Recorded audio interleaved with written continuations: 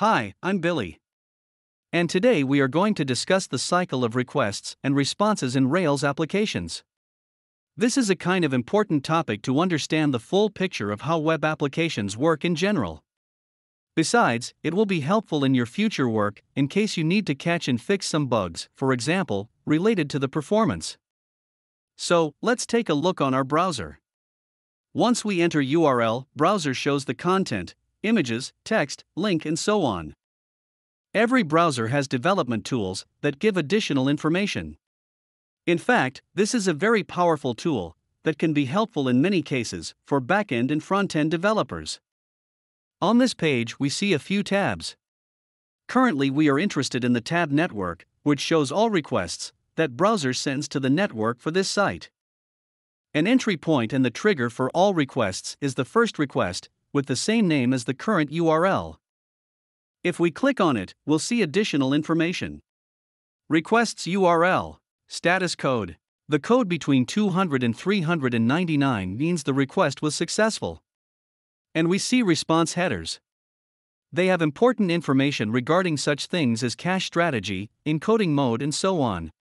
Also, we see the content type, which our web server returns to us for our request.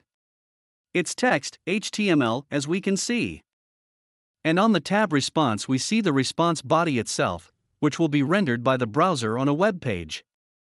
But how does it work under the hood? Let's take a look at the details. Before sending a request to the web server, the browser should find an actual IP address. For these purposes, there are DNS servers in the network that can map URL strings into a machine address. After that, browser is able to send a request to a certain web server. So, let's see what a web server is and how it handles requests. On this slide, we see that inside the web server there is an application server. This is actually our Ruby framework with which we will deal most of the time. In the picture, we see middleware. These are several layers through which the request sequentially passes, like through such a sieve. Commonly, we don't work a lot with this part of the application. So for now, just know that it exists. The request then goes to the routes.rb file, where the Rails application determines which controller to use to process the request. In the controller, we make most actions to process the request. Besides, here Rails app generates the response, which will be returned through the reverse chain of middleware to the browser. This is one request response cycle in web applications. Let's now see what it looks like from a developer's point of view. Imagine our Rails application needs to process a request site.com slash reports. Here we can see three types of files, which we will deal with on a daily basis in our work.